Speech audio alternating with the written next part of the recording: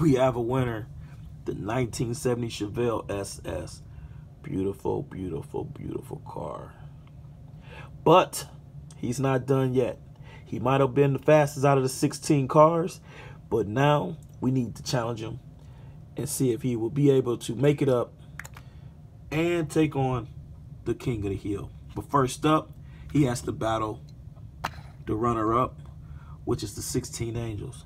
If he can take this win, he will definitely be taking on the, the king, which is the Mr. Mom's van. All right, guys, let's get him lined up and see how he do against this 16 Angels.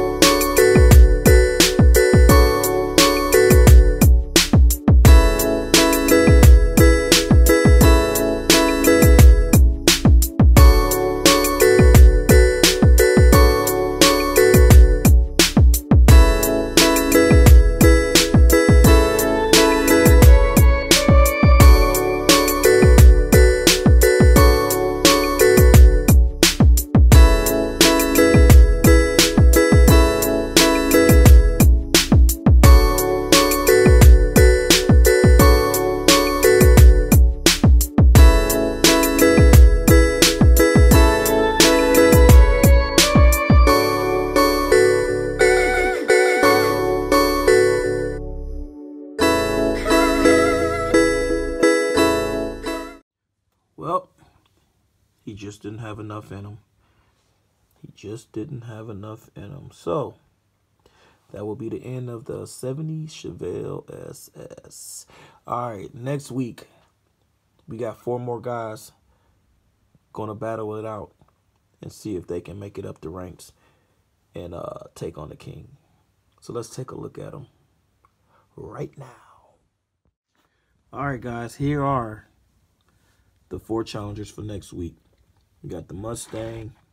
I do believe that is the, uh, where's the car? The 2019, I think. Yeah, that's the 2019 Ford Mustang Coupe. And then up next was here, which is the Audi. And uh, I do believe that is the uh, TTRS Coupe. Yep. And up next is the Bugatti. You guys already know which one this is.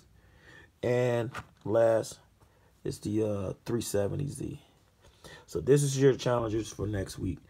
Me personally, I think that the Audi, I think the Audi is going to beat all these cars, but it will not beat the runner-up or beat the champ. All right, guys, down in the comment section, leave a comment on who you think going to win. And stay tuned. I'll see you next week. All right, guys, this is HotWheel Racer Mike. And as always, I'll catch you on the next one.